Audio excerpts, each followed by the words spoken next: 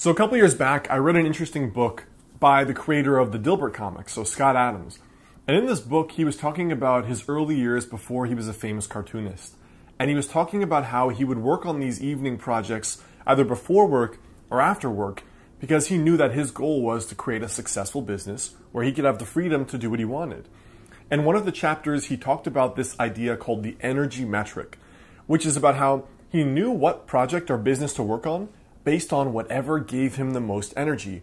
Because when you have a full time job, you have extra time, but what you don't have is a lot of energy. So, whatever excited him the most was the project he worked on.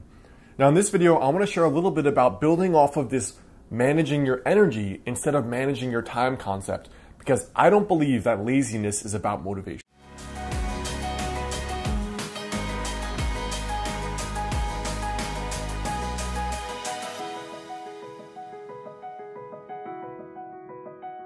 Hey guys, Alex Heyne here, author of the book Master of the Day. So I think the big lie number one is that, first of all, productivity and success are all about motivation.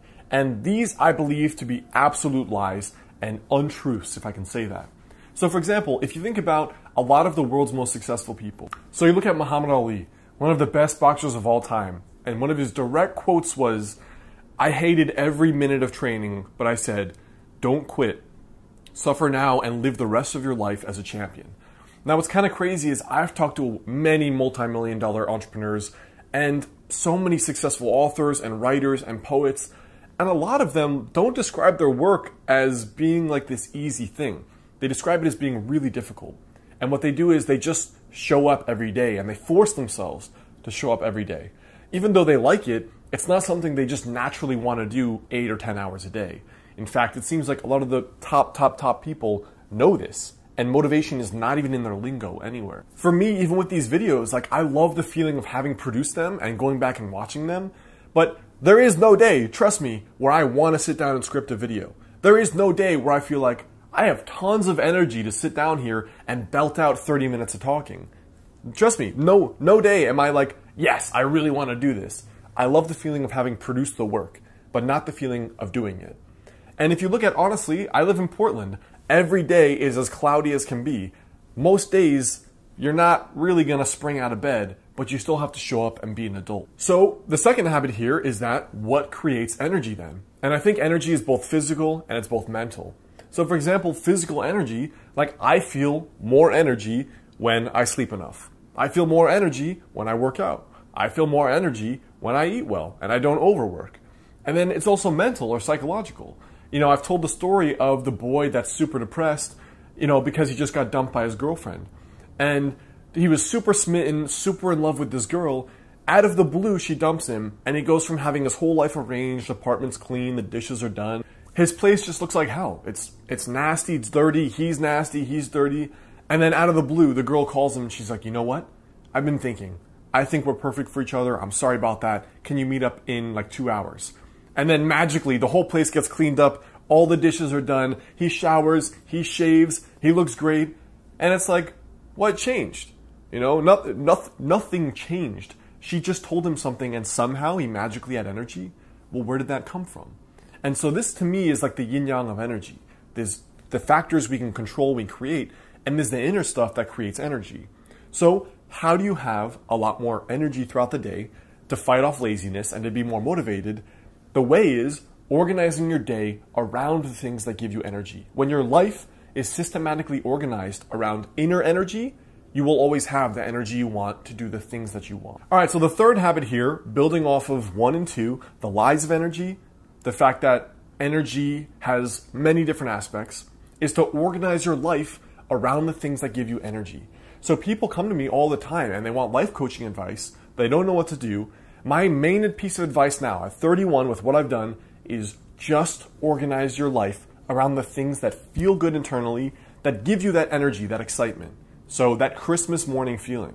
You know, the difference now in my energy, where I have a job that I love, it's like something I've consciously chosen where every day I do exactly what I've always wanted to do. But, you know, compared to before, all the jobs I had, it's completely different. Like night and day. Before, every morning was a chore. Every morning was slogging through crap.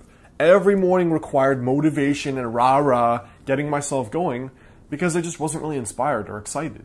And now it's very different. And the difference is that could be your work. So trying to find work you really that really excites you. It's the old school Joseph Campbell follow your bliss thing.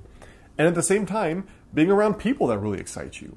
You know, I've been on dates. I give this example a lot because every human knows it where you've probably been on a date with a person, they're super sexy, they're really smart, it's fun, you feel like you should feel the connection, feel the excitement, but that feeling of excitement is not there.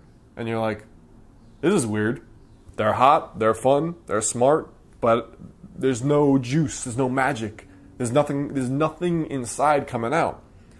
What happens, you know, conversely, if you share your time or you're dating someone that really you really feel that vibe with. We use that word vibe in English because it's it's that just that intangible thing you can't quite describe. So when you hang out with people, they could be friends or they could be romantic, but people that you really get that feeling of excitement from. Your whole life is going to be like this explosion of excitement. And along the same vein, like what happens if you fill your whole life with things that excite you? Look, just you could literally print off your calendar. What is your schedule today? 9 to 5. What are you doing for work? What are you doing after work? What are you doing in the evening? Think about one of the greatest days of your life. So it could have been when you were on a trip with your family. You're in Costa Rica looking at spider monkeys and sloths, and that was a great day and you went to bed, you slept like a drunk baby because everything was amazing. And it was all high energy and all high excitement. Now, what if every day was like that, even though you're not in Costa Rica? And every weekend you had something fun, a trip, something with friends, a show. Maybe it's just a video game you buy and you play. If you systematically organize your life around your energy, or another word could be your excitement, this is a big thing I'm on these days, it's so different in terms of internally where the laziness disappears, where the motivation comes from. And I think you'll be surprised to see what can actually happen when every day is organized just around excitement, not productivity, not any other factors, not success, excitement. Because that, at the end of the day, I think is what we're all looking for. So I hope that video helps. Before you go, I want you to leave a comment down there below.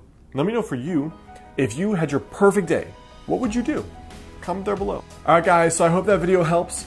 Best way to stay in touch is to grab the free personal development and weight loss challenge at modernhealthmonk.com forward slash YouTube.